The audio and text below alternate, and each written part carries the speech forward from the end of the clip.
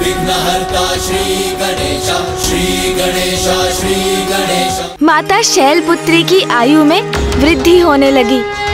तारकासुर इतना आवेशित और अधीर हो गया कि वो स्वयं अब हिमालय पर्वत की ओर बढ़ चला। अंत होगा आज उस शक्ति का।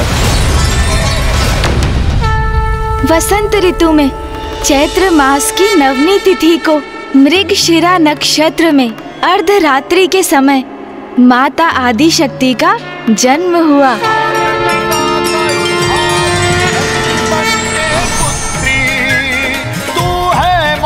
अधिष्ठात्री है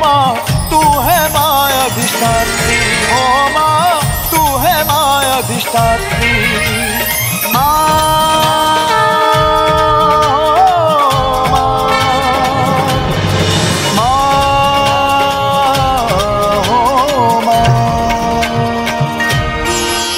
माता शैलपुत्री के जन्म की दिव्य कथा का श्रवण कर हम कृतार्थ हो गए गणेश जी। अनंत है माता शैलपुत्री और उनकी महिमा। माता की नौ रूपों की उपासना करने पर जीवन के सभी मिथ्या भाव मिट जाते हैं। साधक मोह माया से मुक्त होकर संसार का परित्याग कर परमात्मा में समाहित होने के लिए तत्पर हो जाता है। माता शैलपुत्री को प्रसन्न करने के लिए साधक को किस प्रकार साधना करनी चाहिए? नवरात्रि के प्रथम दिवस पर साधक अपनी रीढ़ के मूल पर स्थित मूलाधार चक्र पर अपना ध्यान केंद्रित कर माता की उपासना आरंभ करते हैं। मूलाधार चक्र के अधिपति प्रथम पूज्य गणेश जी। और माता शैलपुत्री की पूजा से ही हम इस चक्र को जागृत कर सकते हैं। और इस प्रकार नवरात्रि के प्रथम दिवस से ही साधक की योग साधना भी आरंभ होती है। महाराज माता सरला अब आप भी अपने नेत्रों को बंद कर अपने मूलाधार चक्र पर अपना ध्यान केंद्रित कर माता के मंत्र का जाप कीजिए। ओम शैलपुत्री नमः। ओम शैलपुत्री नमः। शैलपुत्री नमः।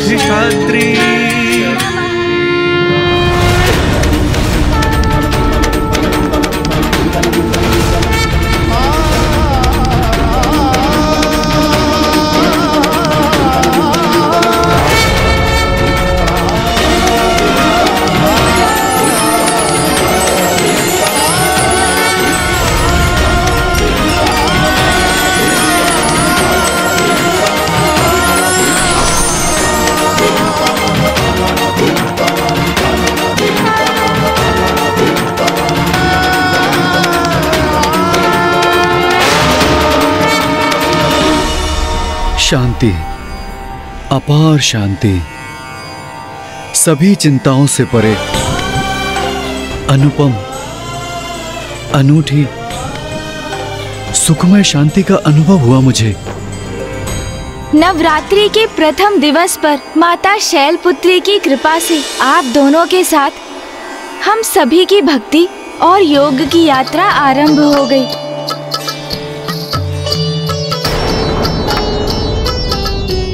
क्या हुआ माता सरला? आप किस विचार में खो गई? यही, पुत्र हो अथवा पुत्री, माँ तो अपनी संतान को समान स्नेह देती। उनमें कोई भेदभाव नहीं करती। किंतु माता आदि शक्ति को पुत्री रूप में प्राप्त करना, ये जो परम सौभाग्य माता मैना और महाराज हिमावन को प्राप्त हुआ, ये तो उनके अद्भुत पुण्य संचय का ही परिणाम था। सत्य है। पुत्री के माता पिता बनने का सुख तो बहुत बड़ा सौभाग्य है।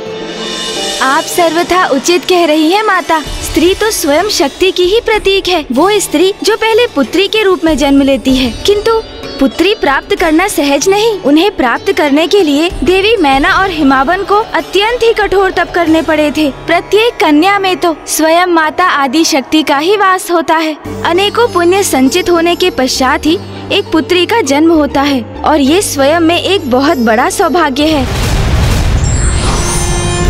मैं तुम्हारी पुत्री बनकर तुम्हारी मनोकामना अवश्य पूर्ण करूँगी। इसीलिए हम कन्या पूजन भी करते हैं।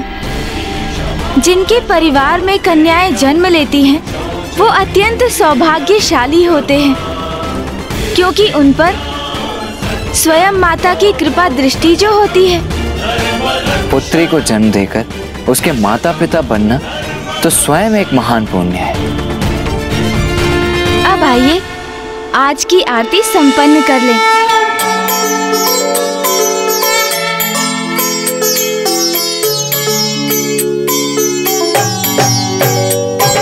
जग जननी, जय जय। माँ जग जननी, जय जय।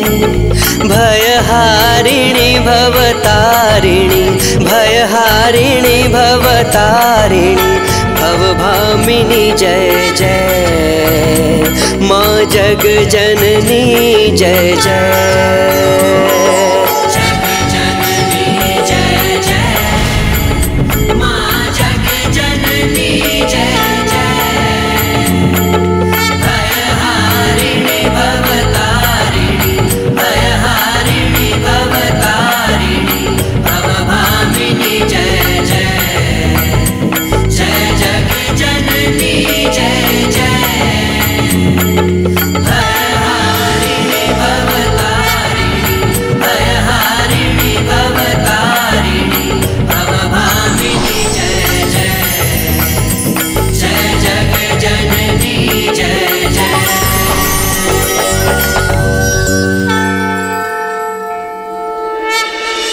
माता सरला महाराज देवदास। कल भोर में नवरात्रि के द्वितीय दिवस पर हम माता के द्वितीय रूप की कथा जानेंगे।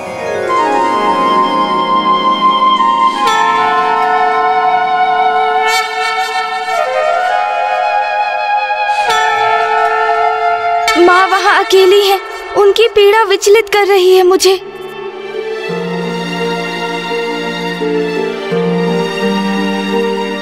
गणेश, तुम्हारी अधीरता का आभास है मुझे, गणेश। भैया, हमने अभी माँ के नव रूपों की पूजा आरंभ की है। हमारे मनोरथ के सिद्ध होने में पूजा की संपूर्ण अवधि शेष है अभी। भैया, क्योंकि वहाँ माँ सर्वथा अकेली है पिताश्री की प्रतीक्षा कर रही है और वही माँ के मंदिर के बाहर, ऋषि जैगेश्वर ने पिताश्री के दर्शन की अभिलाषा में स्वयं को अन्य जल से वंचित रखा है। माता की कथा के संपन्न होने तक ऋषिवर का कुछ अहित हुआ तो अनर्थ हो जाएगा भैया। और उधर, ज्ञात नहीं, दुर्गमासुर वेद माता को कहाँ स्थित कर? उनके साथ कैसा दुर्व्यवहार कर रहा होगा? इतना ही नहीं पिताश्री मंदार पर्वत पर ही स्थित है अपने उस वचन के कारण। काशी लौटने में असमर्थ है जो उन्होंने राजा देवोदास को दिया था। महादेव काशी में मात्र एक ही राजा रह सकता है। फिर वो काशी राजा आप हैं? अथवा मैं? और यदि राजा बनने का कर्तव्य मुझे पालन करना है तो आपको काशी छोड़कर जाना होगा महादेव। तो आपको काशी छोड़कर जाना होगा महादेव। तो आप ही बताइए भैया ऐसी स्थिति में मैं अशांत और अधीर कैसे ना हो? तुम सर्वथा उचित कह रहे हो, गणेश। समय के साथ स्पर्धा है हमारी, जिसमें अब एक एक पल असहनीय हो रहा है। किंतु गणेश, हमें यह भी स्मरण रखना चाहिए कि संसार में जो कुछ भी होता है, वो माँ की इच्छा के अनुसार ही होता है। और वो भी यही चाहती हैं कि हम सभी नवरात्रि के व्रत रखें, उनका पूजन करें। और माँ की इच्छा की पूर्ति हम पूर्ण निष्ठा और संपूर्ण भक्ति भाव से करेंगे। क्योंकि जब और कोई मार्ग नहीं सोचता तो भक्ति में डूब कर ही अपना कर्तव्य निभाना चाहिए। क्योंकि माँ अपने भक्तों को कभी निराश नहीं करती, गणेश। उचित है भैया। माँ ही इन सभी संकटों का निदान करेंगी। मैं तो अब बड़ी उत्सुकता से कल भोर की प्रतीक्षा कर रहा हूँ। माँ की कथा जब तक संपन्न नहीं होगी, तब तक महाराज देवोदास नहीं समझ सकेंगे कि उनसे कैसी अनिष्टकारी भूल हो गई है।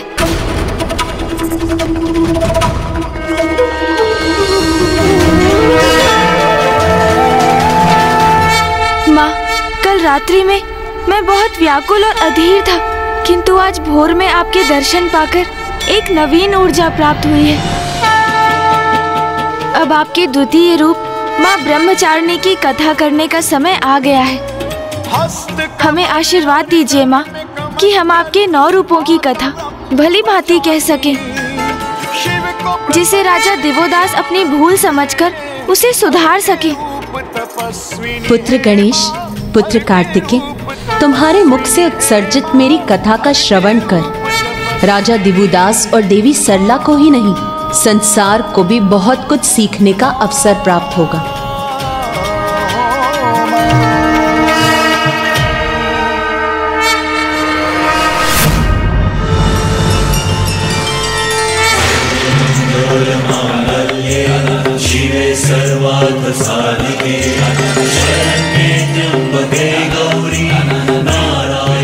गणेश जी, कृतेश जी, नवरात्रि के द्वितीय दिवस का कन्या पूजन।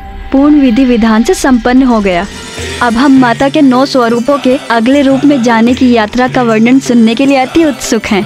माता सरला आपने सर्वथा उचित शब्दों का प्रयोग किया। माता की यात्रा। किंतु माता आपके मन में कुछ विचार है। वो कहिए ना। मैं माता की लीला का रहस्य समझने में कहाँ समर्थ हूँ? किंतु कल रात्रि में मैं माता शैलपुत्री स्वरूप की कथा का विचार कर रही थी। तो मुझे प्रतीत हुआ कि माता की यात्रा तो किसी भी स्त्री की ही यात्रा के समान है। आपने तो पुनः उचित कहा, माता। माता की कथा सुनकर तो प्रत्येक स्त्री को उनकी यात्रा में अपनी ही यात्रा दिखाई देती है। ये भी माता की ही लीला है। उनकी यात्रा का प्रथम पड़ाव उनका जन्म था। जब उनके पिता के नाम पर उनका नाम निर्धारित हुआ, अब हम उनकी यात्रा के द्वितीय पड़ाव की कथा ज्ञात करेंगे। नवरात्रि के द्वितीय दिवस पर हम माता के ब्रह्मचारिणी रूप की पूजा करते हैं।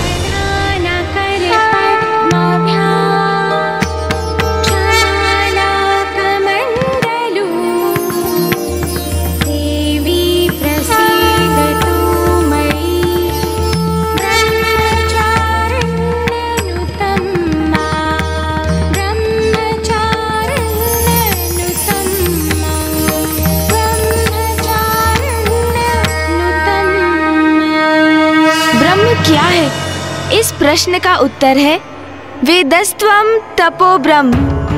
अर्थात, वेद, तत्व और तप ही अंतिम सत्य, परम ब्रह्म है। और चारिणी का अर्थ है, अर्चना करने वाली। अर्थात वो, जो तप और ज्ञान के माध्यम से अंतिम सत्य की साधना करती है। माता आदि शक्ति का ये रूप अत्यंत भव्य है। और पूर्ण रूप से ज्योतिर्मय है गुणेश जी माता अपने स्वरूप में कैसा प्रत्यक्ष रूप धारण करती हैं? माता ब्रह्मचारिणी एक श्वेत वस्त्र से स्वयं को सुशोभित करती हैं। उनके दाएँ हाथ में जप की माला और बाएँ हाथ में कमंडल स्थित होता है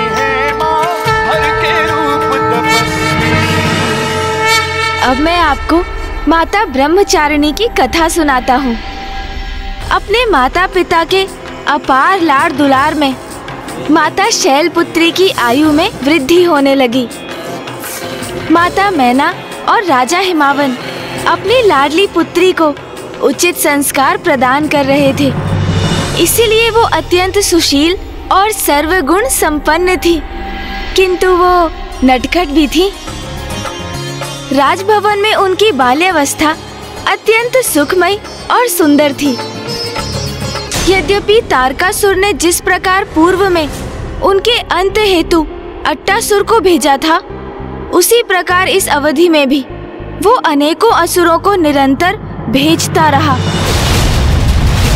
किंतु वो असुर सप्त ऋषियों द्वारा स्थापित रक्षा कवच को नहीं भेज सके। और माता इन सभी आक्रमणों से पूर्णतः सुरक्षित और अनभिज्ञ थी।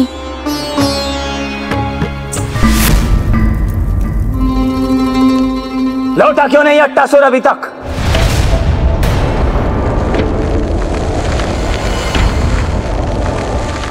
महाराज ऐसी सूचना प्राप्त हुई है कि अट्टासुर का अंत हो गया है।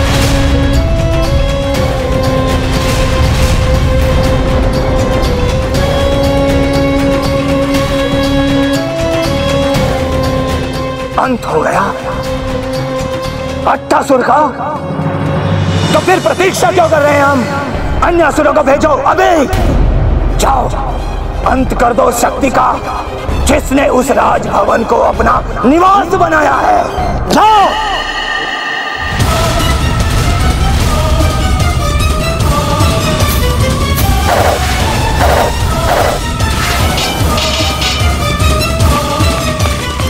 तारकासुर भयंकर से भयंकर असुरों को भेजता गया और एक एक कर उन सभी असुरों का अंत होता गया। अंततः तारकासुर इतना आवेशित और अधीर हो गया कि वो स्वयं अब हिमालय पर्वत की ओर बढ़ चला। अब स्वयं देखता हूँ मैं। कौन है ये मायावी शक्ति? जिसने मेरे अनेकों असुरों को क्षति पहुंचाई है। पुत्री पार्वती।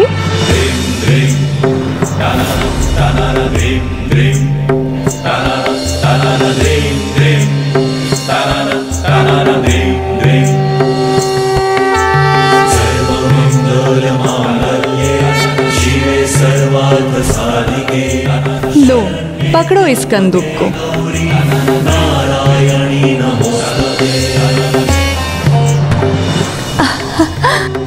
वाह, अति उत्तम पुत्री पार्वती।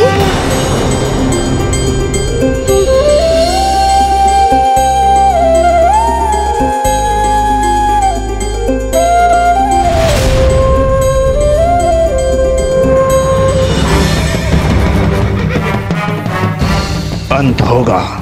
आज उस शक्ति का जो मेरे काल को जन्म देने हेतु जन्मी है। अभी मिटा दूँगा मैं उसे। बढ़ने नहीं दूँगा ये संकट।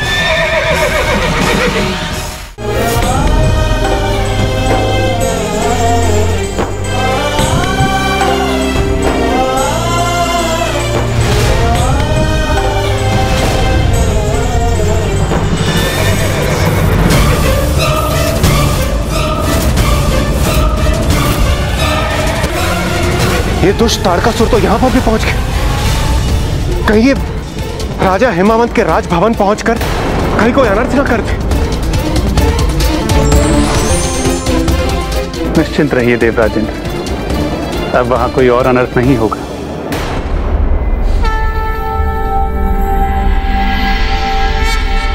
नारायणं गदाजक्षं गोविन्दं कीर्तिभाजनं गोवर्धनोद्धरं देवं भूधरं भुवनेश्वरम्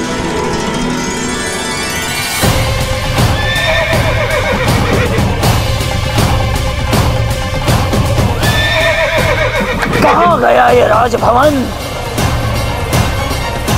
मुझे दिखाई क्यों नहीं दे रहा?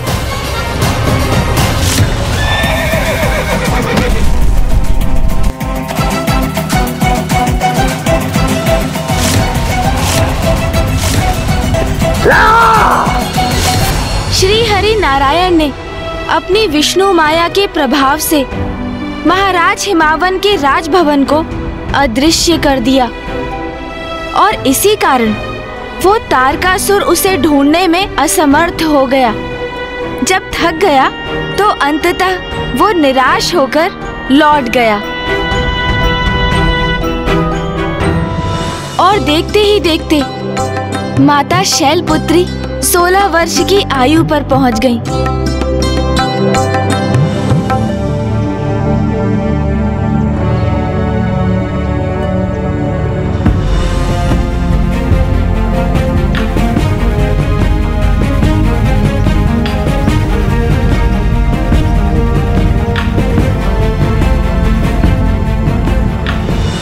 अब आएगा क्रीड़ा का आनंद मुझे। पार्वती को मैं हेम कंदुक से सताऊँगी देखना। पार्वती? पार्वती कहाँ हो तुम? पार्वती? पार्वती? पार्वती कहाँ हो? सखी जया और विजया कितने भी प्रयास कर लो इस क्रीड़ा में मुझे नहीं परास्त कर सकोगी। पार्वती? कहाँ हो तुम पार्वती?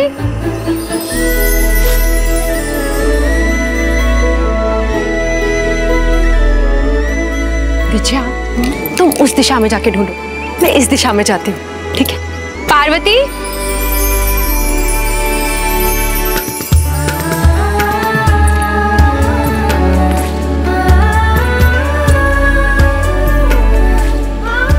पार्वती, कहाँ हो तुम पार्वती? पार्वती? पार्वती? पार्वती? पार्वती? कहाँ चली गई? पार्वती? विजया पार्वती मिली? नहीं। तुम्हें मिली? पार्वती? पार्वती?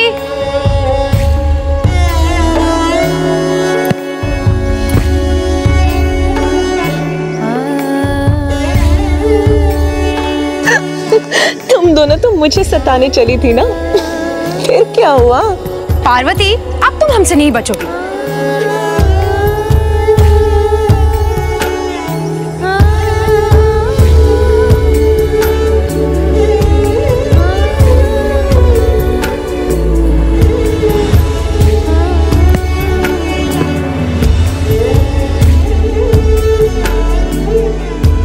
पार्वती का है? पार्वती पार्वती पार्वती पार्वती।